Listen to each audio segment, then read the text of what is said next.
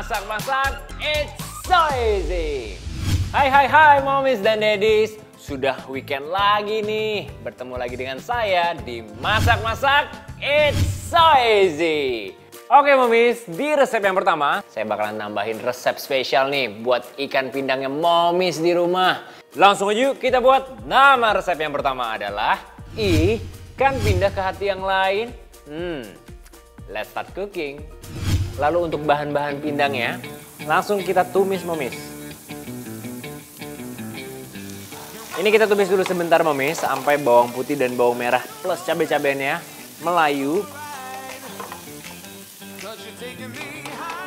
Serainya kita masukkan sekarang, biar aromanya keluar.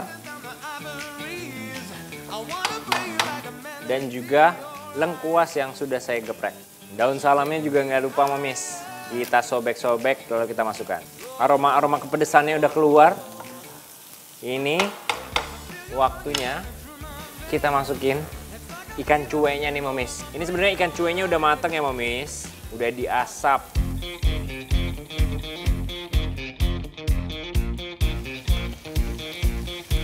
Aduk rata.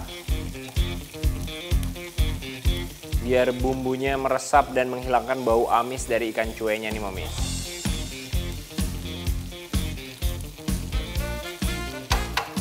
Nah, sampai aromanya udah keluar semua, kita tambahkan juga air.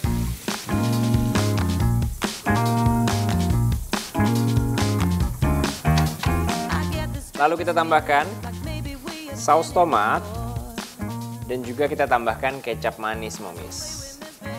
Ini kita masak sebentar sampai pindangnya ini meresap semua bumbunya. Lalu ini kita tambahkan tomat merah momis biar rasanya tuh balance, seimbang, ada pedasnya, ada segernya dari tomatnya, plus ada gurih dan juga manis. Kita tambahkan kaldu jamur, lalu kita tambahkan garam, gula, dan kita tambahkan juga merica bubuk. Kita aduk lagi. Kita masak sebentar lagi momis, kurang lebih 5-10 menit atau sampai warna dari kuah pindangnya ini menjadi lebih gelap dan juga bumbunya masuk ke dalam ikan cueknya.